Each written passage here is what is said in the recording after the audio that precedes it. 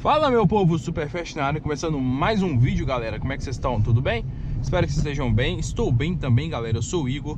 Estou a bordo hoje do Renault Logan 1.6 2021 hein galera? Vim aqui bater um papo com vocês hoje Porque muita gente ainda tem medo de carros franceses, olha só que engraçado né?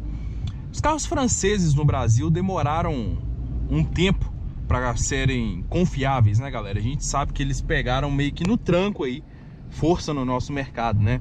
No início foi muito renegado aí, principalmente os Peugeot e Citroën, né? A Renault já chegou desde o início trazendo aí uma solidificação melhor e hoje a gente pode dizer que a Renault dos franceses é a marca de mais sucesso aqui no Brasil, né? A Peugeot teve essa união recente com a, com a Fiat, né?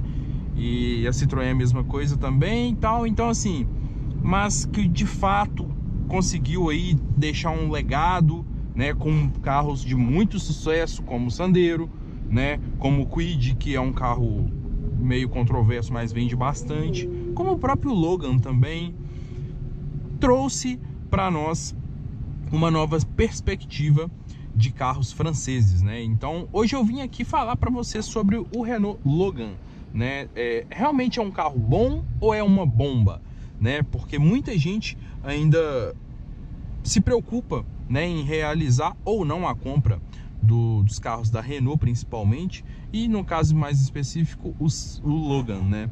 Que basicamente é a mesma coisa de um Sandero com bunda, Sandero 1.6, tá? Galera, é o seguinte, começando a falar sobre o Logan, o Logan é um carro que tem os seus pontos, benefícios e negativos como qualquer outro carro. Nós temos coisas boas, mas também temos coisas ruins. Vou elencar para vocês aqui hoje os principais pontos, né, positivos e negativos, e no final eu vou dar para vocês a minha opinião sobre se eu compraria ou não, beleza?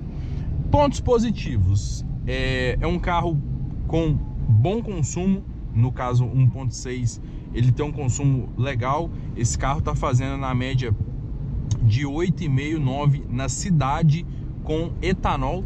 Então eu considero que por se tratar de um motor 1.6 e um carro sedã, um bom consumo, tá? Esse carro tem um espaço interno muito generoso, principalmente o espaço interno traseiro ali. Porta-malas dele é gigantesco. Porta-mala dele se assemelha a carros aí de um segmento superior de sedãs médios, né? Então isso aí é uma coisa que eu gosto bastante nesse carro também. Esse carro está com algumas tecnologias de série na versão 1.6, como DRL, como multimídia com Apple CarPlay e Android Auto, tem também Start Stop, então coisas que tudo facilitam o convívio, né? Ele já tem aqui essa, essa alavanca aqui para você mexer no rádio, mexer com Bluetooth sem precisar tirar a mão do volante, né? Eu não gosto muito dessa posição aqui, eu preferia que ficasse no volante, mas é uma característica da Renault, né? A maioria dos carros da Renault são assim. Geralmente aqui eles colocam cruise control e para você mexer no computador de bordo. Mídia geralmente fica atrás do volante mesmo, né? Bom, é, suspensão dele é boa, ele é um carro bem alto, né? É um carro assim que te passa aí uma firmeza uma sensação de conforto, principalmente em pisos irregulares. Ele tem um bom desempenho, não só consumo, mas também um bom desempenho com seus 118 cavalos aí. Só para vocês terem uma ideia, eu tive um Jetta Comfortline que usava um motor 2.0 aspirado e câmbio automático e esse Jetta tinha 120 cavalos, né? E o Logan entrega 118 com motor 1.6. Então é considerado um uma boa potência, né? Pelo tamanho do motor, são quatro cilindros, aspiração natural e mesmo assim ele consegue ter um consumo bom, igual eu comentei com vocês, né? Então eu acho isso bastante interessante. É o preço de manutenção desse carro não é tão salgado assim como já foi os carros da Renault. Isso aí é uma coisa que acontecia. Os carros da Renault geralmente tinham manutenção mais cara do que os concorrentes mas na, hoje em dia tá bem mais tranquilo, principalmente com a internet, né, galera? A internet democratizou bastante aí a questão de preço de peças, né? Então a manutenção aí eu, eu acho que não é tão barata quanto um Siena, um Voyage, por exemplo, mas também não é tão mais cara, né? Eu acho que fica no meio termo ali, beleza? Se você pegar aí um Versa, por exemplo, vai ter uma manutenção mais cara, na minha opinião, do que esse carro aqui. Bom, falando agora dos pontos negativos desse carro, né? É, é o seguinte, galera, os pontos negativos desse carro, eles são menos relevantes do que os pontos positivos, na minha opinião. Eu acho que pelo que ele se propõe a entregar, os pontos negativos são mais supérfluos do que os pontos positivos são mais importantes, né? Ou seja, é, os pontos no meio termo, na balança, é mais os pontos positivos são melhores do que os pontos negativos. Então vamos lá. O que eu acho de ponto negativo desse carro, por exemplo, acabamento. Esse carro ele é todo, todo, todo de plástico por dentro, galera. Todo de plástico. Então assim, olha só, o volante é de plástico, tá vendo? Não tem um couro. Claro que estamos falando aqui da versão Zen, tá? Não é, é se você pegar a Iconic, vai ter aí uns itens a mais, porém, nós estamos falando de um carro de quase 100 mil né? Aqui é a versão, a versão de entrada dos 1.6, né? É, você tem, por exemplo, muito poucos acessórios, né? Retrovisor, eu fui regular o retrovisor desse carro ali agora, eu tive que me desdobrar ali para conseguir chegar ali no retrovisor. Então faz falta um retrovisor elétrico, faz falta um ar-condicionadozinho digital, né? Que já te dá aí uma impressão de um carro mais premium. É uma zona só, de, é analógico, então é meio que padrão aí pro segmento, mas poderia ser melhor. Uma coisa que eu não gosto nesse carro é esse, essas saídas de ar aqui, esses difusores. Ele não, ele não dobra essas aletas. Olha só, ele dobra o difusor.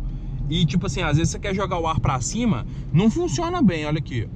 As aletas continuam praticamente na mesma posição, entendeu?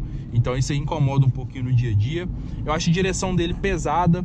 Se você comparar aí com outros carros, como Voyage, como o próprio Siena, como um Ford Ka Sedan, são direções muito mais leves do que a direção desse carro aqui. Isso é uma coisa que incomoda um pouquinho, afinal ele usa uma direção eletrohidráulica, então poderia ou deveria ser mais leve, tá? É, uma coisa que eu sinto falta nesse carro também são sensores de estacionamento dianteiros, tá? Esse carro é grande, a frente dele é alta, então para manobrar, olha só, eu não tô vendo nem o capu nessa posição que eu tô aqui. Então, para manobrar, cara, para quem mora em prédio aí, pode ter um pouquinho de dificuldade. Tem sensor atrás, mas não tem na frente, tá? Coisas do segmento também. Mas como eu tô falando para vocês aqui coisas que eu sinto falta, realmente isso aqui é uma coisa que incomoda, beleza? É, uma outra coisa que eu sinto um pouquinho de falta nesse carro, que eu acho que deveria ser melhor, tá aqui, ó, iluminação de leitura para o motorista. Não tem, tá, galera? Não tem. Então, à noite, às vezes você tá aqui é, precisando procurar uma chave, alguma coisa, principalmente nessa porta aqui, ó, quando tá, tá com alguma coisa, você acende essa luzinha aqui e ela é meio fraca, sabe? Então, se tivesse uma aqui nessa região para iluminar esse canto aqui, ficaria mais prático, né? Então, falta, faz falta aí, não tem nem para o passageiro, tá vendo? Então, tem essa, essa diferença. Bom, é, uma outra coisa que eu acho que deveria ser melhor nesse carro é essa alavanca aqui de, de, de marcha, velho. Cara, ela é muito grande. Olha o tamanho dela, é mais de um palmo. Ó, eu acho que eles deveriam subir esse console mais e diminuir essa alavanca. Fica parecendo uma alavanca de uma caminhonete manual. Vocês já viram isso? Olha, olha, é muito grande. Eu acho feio, cara. Assim, é, a posição dela é ok, só que o console é muito baixo, igual para você, você não consegue pegar alguma coisa ali no console sentado, você tem que sair do banco para alcançar ali. Então, é, são pequenas coisas, é o que eu falei, são coisas é, fúteis, mas que incomodam um pouquinho no dia a dia. Eu acho que do que eu citei até agora, o que mais incomoda de verdade é o peso da direção, que realmente é bem pesada. Né? Os retrovisores também é, serem não é analógico que fala, né? Mas eles não, não terem regulagem elétrica incomoda bastante também, né? Bom, esse carro aqui em, em específico já está com 86 mil quilômetros, né, galera? Então já é um carro aí que rodou bastante e ele ainda não apresenta ruídos internos, barulhos de acabamento, barulho de plásticos batendo, como os carros da Volkswagen e Fiat fazem, né? Com essa quilometragem mais ou menos. Isso é uma coisa legal. Você pode perceber que a Renault está preocupada aí com essa questão de qualidade dos plásticos, né? São plásticos, são, mas não são plásticos tão banais e simples igual é num Cronos, por exemplo. né? Você tem aqui bons acabamentos, bons arremates, né? Tem algumas partes que tem rebarbas, igual por exemplo esse encaixe aqui, ele não é 100% alinhado, mas é coisas do segmento também, né? Fazem de tudo aí para deixar o carro mais barato. É, uma coisa que eu gosto bastante nesse carro são os DRL. Dão a impressão de ser um carro mais completo, mais caro do que realmente são e ao mesmo tempo te dão uma segurança para rodar no dia a dia, evita multas em estradas e tal. E é aquilo, mesmo na versão de entrada dos 1.6 já está disponível, então isso é uma coisa interessante, né? Bom, então galera, é o seguinte, esses foram os meus pontos positivos e negativos mais relevantes. Tem vídeo falando de 10 motivos para não comprar e 10 motivos para comprar esse carro no canal. É só você dar uma olhada aí, só jogar motivos para não comprar Logan Superfast, você vai encontrar aí.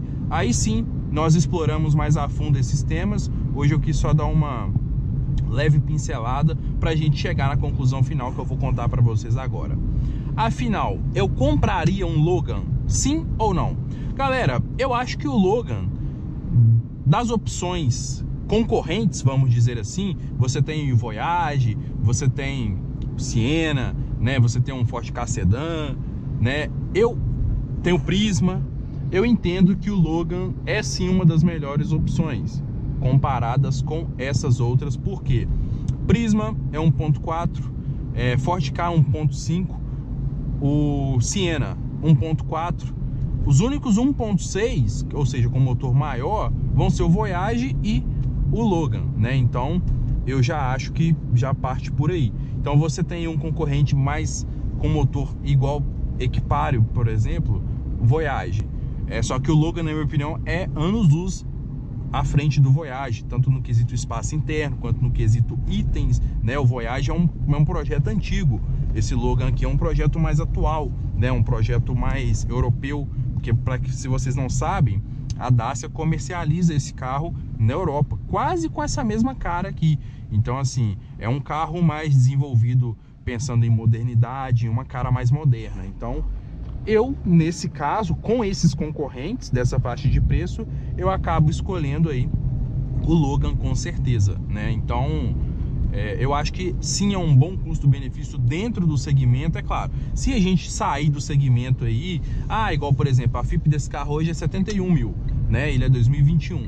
Ah, é, se você pegar aí 71 mil, eu posso comprar qualquer carro? Talvez eu não compraria um Logan, né? Mas o meu perfil é esse. Quem tem um perfil mais sóbrio, que não quer correr riscos, que não quer carro que quebra, que não quer dor de cabeça, que precisa de um carro espaçoso sedã, pelo menos, então acaba sendo uma boa opção, beleza? É, eu acho que é isso. Espero que vocês tenham gostado do vídeo. Deixa nos comentários, você compraria ou não compraria um Renault Logan? Se sim, é, fale por quê e se não, fala qual carro que você compraria na, no lugar do Logan, beleza? É isso, eu vou ficando por aqui. Dois vídeos por dia, uma hora da tarde e 8 horas da noite todos os dias. Conto muito com vocês e aguardo vocês pro próximo vídeo daqui a pouquinho, fechou? Até daqui a pouco, até o próximo vídeo, valeu, é nóis, galera!